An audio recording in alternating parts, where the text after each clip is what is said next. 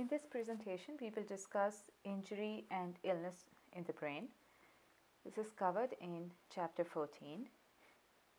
We will discuss brain tumors, uh, multiple sclerosis, neurological aids, neurological trauma, pain, seizures, epilepsy, and stroke. To give you an example how uh, brain injuries are detected, here are two MRI images in panel A and B. Panel A, uh, there, this is an image from a 60 year old uh, woman's brain who was in a traffic accident and you can see a spot in black which is pointed by the white arrow that represents bleeding in the brain.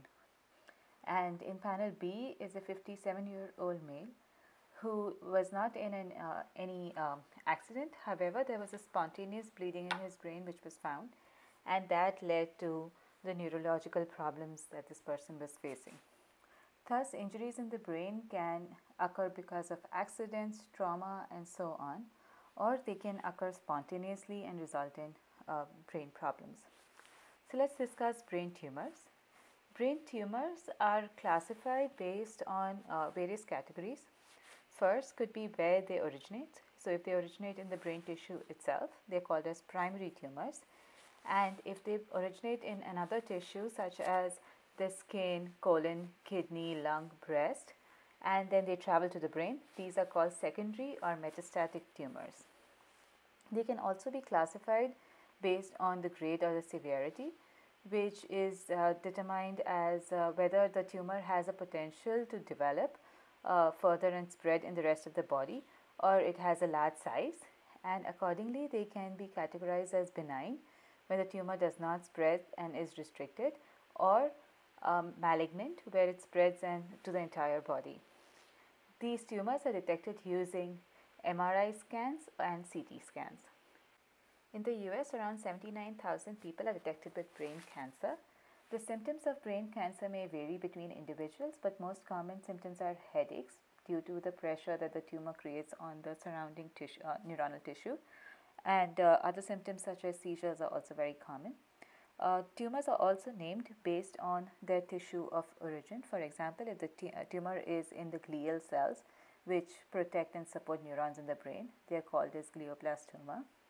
Uh, and a malignant form of uh, tumor in the glial cells is called a glioma. These uh, gliomas can release toxic amounts of glutamate in the surrounding tissue, which results in seizures and it can kill the surrounding neurons, thus allowing the tumor to expand and it gives the tumor more space to grow. The treatments for uh, brain tumors uh, usually involve surgery if it is possible to remove the affected part. Um, multiple sclerosis is an inflammatory disease where the immune system of a person attacks its own central nervous system, which includes the brain, spinal cord, and optic nerves, which all could be damaged. In this case, the target of the attack is usually the myelin sheath, which is a fatty substance that coats the nerve fibers in the central nervous system. And uh, therefore, if the myelin sheath is attacked by these immune cells, it results in lesions or plaques forming at these sites of attack. Because multiple lesions are usually seen in the central nervous system, it's called as multiple sclerosis and the term sclerosis comes because these lesions or these areas where the plaques are formed they ultimately harden and these patches of tissues occurs which call which are called sclerosis. Multiple sclerosis is usually detected in people between the age of 20 and 40 years and this condition uh, is a lifelong condition. It can result in damage of the white matter of the brain which is the myelin sheets as well as the gray matter which is the nerve cell bodies, glia etc. in the brain. Although the cause of uh, MS is not clearly understood but there is an uh, possibility of a genetic uh, factor being involved because siblings of people with MS usually have a higher chance of MS uh, diagnosis and uh, Caucasians usually run a higher risk of MS uh, than other um, genotypes. The symptoms of MS usually uh, are different amongst different people because the site of damage would be different. It could be the spinal cord, the cerebellum, and the optic nerve, which are usually commonly affected by MS. So the problems can result in various symptoms like numbness, clumsiness, blurred vision, slurred speech, weakness, pain, loss of coordination, uncontrollable tremors, loss of bladder control, memory loss, and so on. Neurological AIDS. AIDS is the acquired immunodeficiency syndrome, which is caused due to infection by the HIV virus or the hum human immunodeficiency virus. In 2015, around 2 million people worldwide were detected with uh, HIV infection, and about half of them developed the, a neurocognitive disorder as well, where uh, there are cognitive impairments found in people infected with HIV, which results in impaired concentration, coordination, uh, as well as progressive dementia in some cases. Treatments are usually considered the cocktail of three antiretrovirals, which target the HIV virus itself.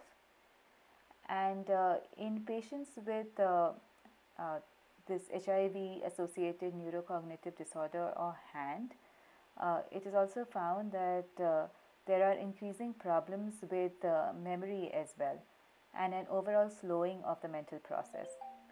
This neurological AIDS is detected using imaging uh, by CT and MRI scans and uh, patients show depleted neurons, abnormal white matter tracts, inflammation in the brain as well as damaged vessels. In some patients, there is also a, a peripheral neuropathy uh, developed and this is uh, quite a common problem in uh, people with uh, the HIV associated neurocognitive disorders. And uh, peripheral neuropathy usually involves injury to the nerves of the extremities, and this can cause uh, discomfort, which can range from tingling uh, in the extremities to burning or to severe pain itself. HIV is believed to trigger this injury, and certain antiretrovirals can cause an uh, neuropathies or make them uh, more frequent and serious. Neurological trauma includes brain and spinal cord injuries which may be caused because of motor vehicle accidents, falls, sports injuries or violence and uh, these can result in significant disabilities uh, affecting the quality of life and also may result in death in fact, around 1.7 million people in the US uh, sustained traumatic brain injuries each year, and around 52,000 of those usually die due to these uh, traumatic brain injuries. The treatments for these include preventing secondary pathogenesis because of the initial brain injury and uh, will also include uh, support for repairing and regeneration of the damaged tissue as well as rehabilitation. CT and MRI scans are used to observe the extent of tissue damage in a traumatic brain injury and that can determine how medically uh, these injuries are managed. These injuries may result in bleeding or swelling in the brain and this can result in building up of pressure in the brain. So usually the treatments involve uh, removing the cerebrospinal fluid, uh, hyperventilation and using drugs. Cerebral edema is used to describe the swelling which is caused because of a result of excess water being uh, accumulated in the brain. The areas which are damaged because of the bleeding in the brain are uh, called the lesions and these lesions may develop in the surface or within the brain or uh, contusions which are bruises may form in the brain and both these can result in increased pressure and reduce the blood flow in the brain. One of the treatments that is used is uh, decompressive craniectomy where a part of the skull is removed to allow the brain uh, to swell and therefore it would lead to less damage in the other uh, adjacent tissues. The cerebrospinal fluid is a clear fluid that actually surrounds the brain and the spinal cord it uh, cushions the brain and also protects the spinal cord from injury. Uh, it uh, fills the ventricles of the brain and uh, serves as a nutrient delivery as well as the waste removal system of the brain.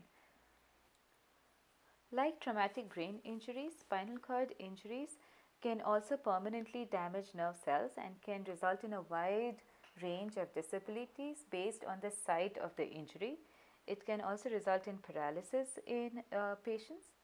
Currently, the uh, only FDA approved drug for spinal cord injury is the methylprednisolone, which is a steroid, and it is known to uh, it has been shown to be effective in very high doses uh, if given uh, within 8 hours of the injury itself. A number of uh, research strategies are being used to help patients with spinal cord injuries, which involve uh, creating new nerve cells by triggering neurogenesis to regenerate and repair the damaged tissue.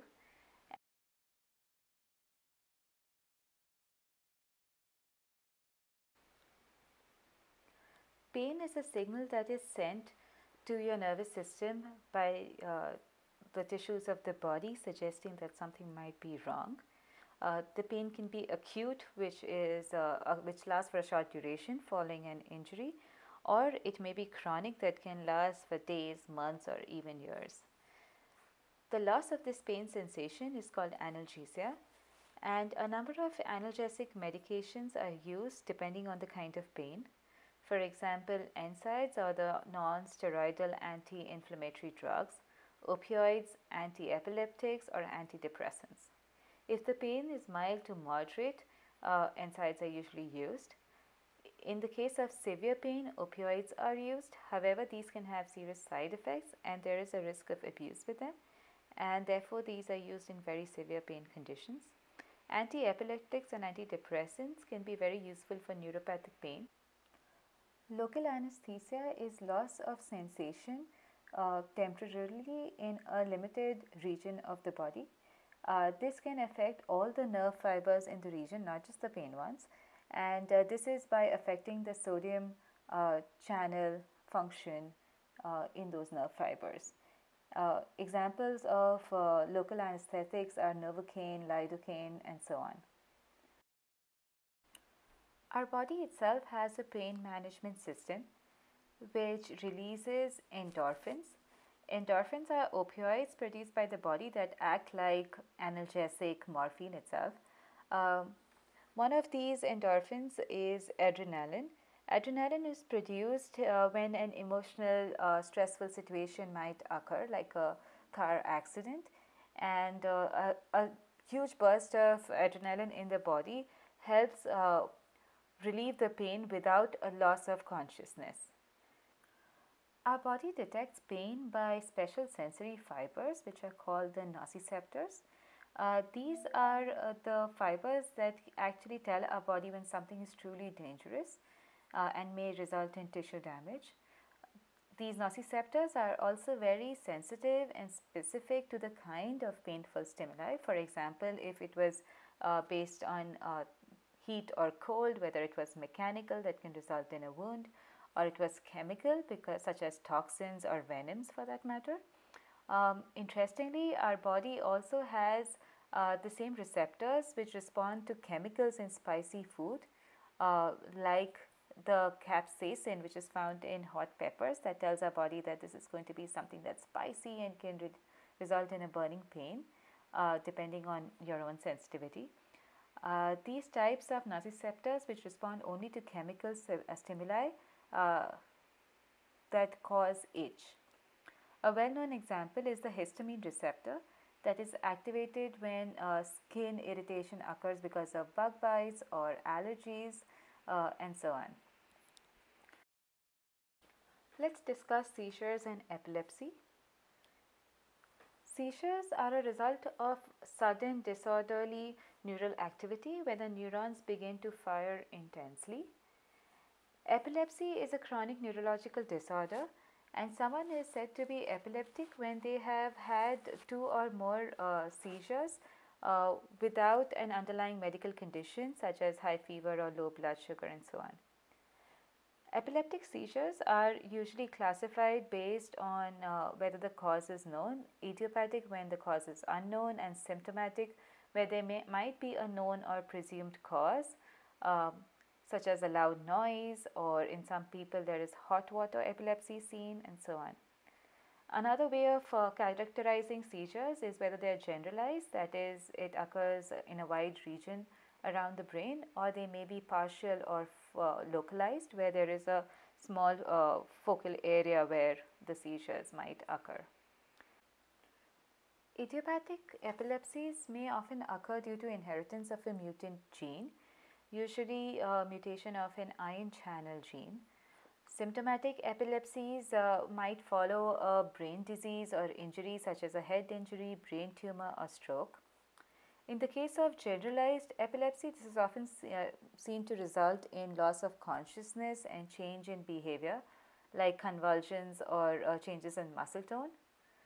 Whereas partial epilepsy, uh, a patient remains conscious and has awareness of uh, sensory or behavioral changes which might occur during the seizure. Most of the mutations that are uh, seen in patients with epilepsy are in voltage gated ion channels at a resting stage, when the voltage gated ion channels are closed, the ions cannot pass. However, in response to neuronal stimulation, the membrane potential increases, which results in opening of this voltage gated ion channel. And now the sodium ions can pass through the channel and a change in voltage is detected. And this is how a neuronal uh, current is propagated. In epileptic patients, Mutations can result in malfunction of these ion channels which can induce irregular neuronal activity. Therefore, the therapies are uh, targeting these ion channels uh, such as anti-epileptic drugs, surgery or electrical stimulation therapy. Transport of nutrients to the brain occurs via blood vessels and strokes happen when a blood vessel that transports these nutrients such as oxygen and so on is clogged or bursts. This can result in uh, the blood supply to the brain being depleted, which can cause neuron deaths even in minutes. A risk of a permanent disability, such as paralysis on a side, can occur. Clog may result uh, from a blood clot or some other particles that could be present in the bloodstream. And uh, some of the clot dissolving drugs such as the tissue plasminogen activator or TPA are used to restore circulation before the damage uh, increases in its severity and can result in death as well. Anticoagulant drugs can also help in reducing likelihoods of clots forming. Let's now review what we learned in this chapter.